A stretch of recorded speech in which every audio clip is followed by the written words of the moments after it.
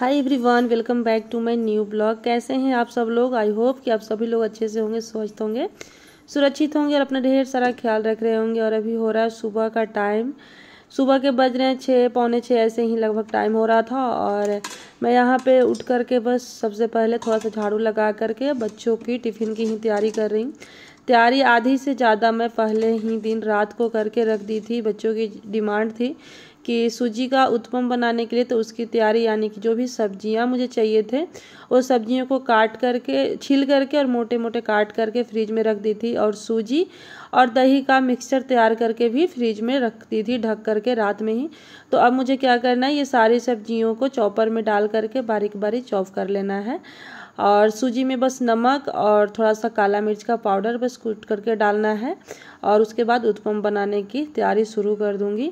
तो जब बच्चों की डिमांड जब कुछ इस तरीके की चीज़ों की होती है ना तो एक दिन पहले ही मुझे तैयारी कर लेनी होती है, क्योंकि सब्ज़ियाँ जो थोड़ी थोड़ी क्वांटिटी में काटना और छिलना रहता है, उसमें काफ़ी ज़्यादा लंबा टाइम जाता है।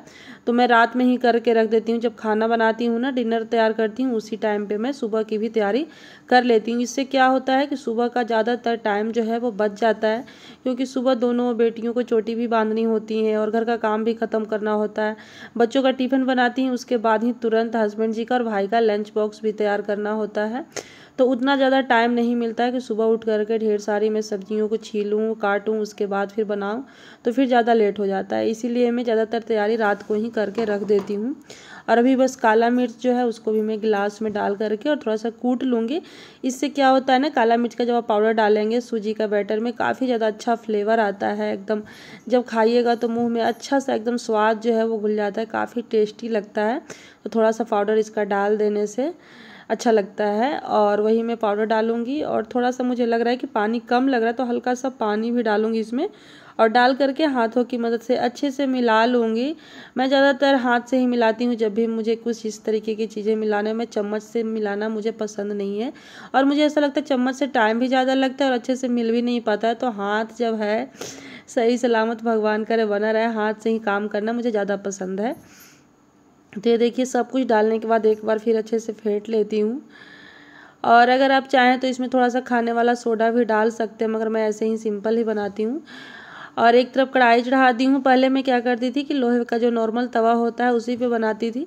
तो जो नॉर्मल तवा होता है ना, उस पर तो हल्का फुल्का, जैसे अगर थोड़ा सा गर्म कम है तवा तो हल्का सा चिपक भी जाता है। मगर एक बार मैं अपने आप ही ट्राई की थी कढ़ाई में बनाना। अब आपको पता, तीन बच्चे तीनों का लंच बॉक्स तैयार करने में टाइम तो लगता ही है। और जब ये सूजी का उत्पम हम जो बनाते हैं, इसमें थोड़ा सा टाइम ज़्यादा लगता है सीखने में, क्योंकि हम इसमें सब्ज़ियाँ भी कट करके डालते हैं। और सूजी का उत्पम जो डालते हैं तवे पे, वो थोड़ा मोटा भी होता है, ठीक भी होता है तो पकने में टाइम लगता है। तो मैं ऐसे ही कढ़ाई में एक दिन ट्राई की थी तो कढ़ाई में जो नॉर्मल वाली कढ़ाई होती है, उसमें बिल्कुल भी नहीं चिपता, चिपका था सॉरी चिपका था, हल्का सा तेल डाल करके। तो ये मेरा पहला मतलब अपने आप में एक एक्सपीरियंस था कि मैं खुद ही से ट्राई की थी कढ़ाई में बनाना। ना कहीं कोई रेसिपी देखी थी, ना यूट्यूब पे, कहीं भी कुछ भी रेसिपी नहीं देखी थी कि हाँ कढ़ाई में बनाने से क्या हुआ। मैं अपना खुद का एक्सपीरियंस आप लोगों के साथ शेयर कर रही हूँ तो कढ़ाई में इस तरीके से जब बनाई थी ना मैं पहला दिन तो काफ़ी अच्छा बना था और अच्छे से सीख भी गया था और बिल्कुल भी नहीं चिपका था, एकदम आराम से उखड़ गया था, बिना मेहनत के ही। तो उसके बाद मैं कढ़ाई में ही बनाना शुरू कर दी हूँ और दोनों तरफ़ चढ़ाई हूँ, कढ़ाई भी चढ़ाई हूँ, तवा भी चढ़ाई हूँ ताकि जल्दी जल्दी हो जाए। दो दो बच्चे ले जाए तो छः पीस तो चाहिए ही और थोड़ा सा जिसको मन रहता है वो खा करके भी जाते हैं। तो अभी देखिए, तेल भी ख़त्म हो गया था डब्बे में तो उसको मैं तेल को भी भर दूँगी। और एक मैं किचन का कपड़ा ऐसा रखती हूँ, जब भी कोई डब्बे पे मैं काम करती हूँ, वो डब्बा अगर मुझे हल्का सा भी उस पर धूल जमा दिखाई दे तो उसको मैं लगे हाथ हाथ मार देती हूँ, यानी कि कपड़ा से।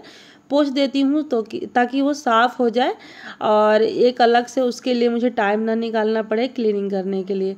अभी मैं आपको कढ़ाई वाला दिखा रही हूँ, ये देखिए, ये कढ़ाई वाला है, बिल्कुल भी नहीं चिपका है, आपको देख करके ही समझ में आ रहा होगा। बिल्कुल भी नहीं चिपका, मैं ये सरसों के तेल थोड़ा सा डाल करके बना रही हूँ, आप चाहे तो देसी घी भी डाल सकते हैं बटर भी डाल सकते हैं। अपने पसंद के अनुसार इसमें सब्ज़ियाँ भी डाल सकते हैं और अपने पसंद के कार इसको बना भी सकते हैं। और ये तवा वाला है, तवा वाला भी बिल्कुल भी नहीं चिपका है। बाकायदा ये ध्यान देना है कि तवा जो है वो अच्छे से पहले गर्म हो जाए, उसके बाद ही हमें डालना है। अगर थोड़ा सा भी तवा कम गर्म रहेगा तो ये चिपक जाता है। और ये देखिए, इतना भी बटर है तो बनाना है मुझे। और अभी मैं बना करके बच्चों को लंच पैक करके दे दूँगी और उसके बाद मुझे दोनों बेटी का चोटी भी करना होता है। अभी क्या है कि इन लोगों के स्कूल में चोटी और भी जो बेबी रिबन होती है, पतली वाली, उससे चोटी बाँध करके जाना होता है। तो जब रबड़ से बाँध कर जाना होता था ना, तब तो ये लोग खुद से भी कर लेते थे, मगर जब अब रिबन से बाँध के जाना है, तब तो मुझे लगना ही पड़ता है। तो उसके लिए आधे घंटे का मतलब पंद्रह से बीस मिनट का तो टाइम लग ही जाता है दोनों का चोटी करने में। तो यही सब काम है और यही सब जो बातें हैं मैं आप लोगों के साथ शेयर करती हूँ इस वीडियो के माध्यम से। और उम्मीद तो यही करती हूँ कि आप लोग वीडियो इंजॉय करते होंगे अच्छा लगता होगा। कहीं कोई कमी हो तो कमेंट में ज़रूर बताइएगा और प्लीज़ मेरे वीडियो को आप लोग शेयर कीजिएगा। चैनल पर नहीं हो तो सब्सक्राइब भी ज़रूर कर दीजिएगा बेलाइकन के साथ में, ताकि जो भी मैं न्यू वीडियो अपलोड करूँ ना, उसका नोटिफिकेशन सबसे पहले आपको मिल जाए। और बच्चे चले गए हैं स्कूल किचन का काम जो है वो थोड़ा सा मैं पेंडिंग छोड़ दी हूँ, ऐसे ही छोड़ दी हूँ। और ये बाहर वाला जो कमरा है उसकी क्लीनिंग कर रही हूँ, बिस्तर वगैरह समेट करके रख दे रही हूँ।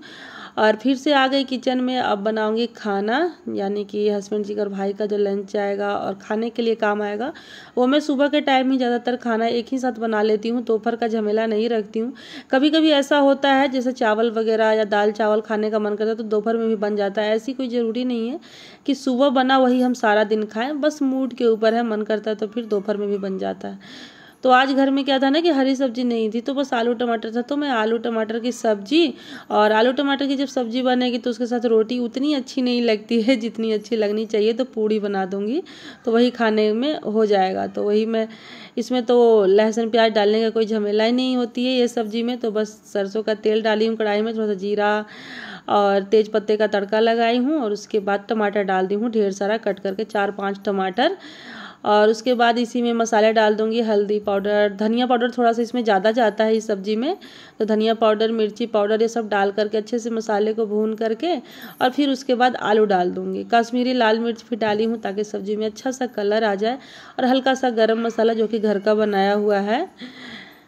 मुझे ना पता नहीं क्यों घर का जो गरम मसाला बनाया हुआ होता है, जो मैं खुद ही बनाती हूँ, उसका टेस्ट ज़्यादा अच्छा लगता है जो बाहर वाले पैकेट मसाले होते हैं, बस अपना अपना टेस्ट है। और अच्छा है, घर पे जो चीज़ बनने लायक है, वो घर पे ही बनाकर खा लें या यूज़ कर लें तो ज़्यादा अच्छा है। उसके बाद उबला हुआ आलू को छोटे छोटे पीस में मैं तोड़ ली थी, हाथों की मदद से ही, और उसको डाल करके अच्छे से मिक्स कर देना है। नमक डाल देना है, जितना ग्रेवी रखना है, उससे थोड़ा सा ज़्यादा पानी रखेंगे, और बस उबाल आ जाए तो गैस का फ्लेम जो है वो बंद कर देंगे, सब्ज़ी बन करके एकदम रेडी हो जाएगा। और उसके बाद मैं अपने लिए भी उत्पम बना लूँगी। नाश्ता करने के लिए सारा काम ख़त्म करने के बाद। और मैं चाय तो बनाई थी, मगर जैसे ही चाय चीनी डाली तो दूध जो है वो फट गया तो चाय आज मेरे नसीब में नहीं था। बस यही उत्पम खाई और उसके बाद फिर से काम में लग जाना है। तो कैसा लगा आप लोगों को वीडियो? कमेंट करके ज़रूर बताइएगा। Thank you so much guys. Video देखने के लिए बाय। लाइक ज़रूर करें।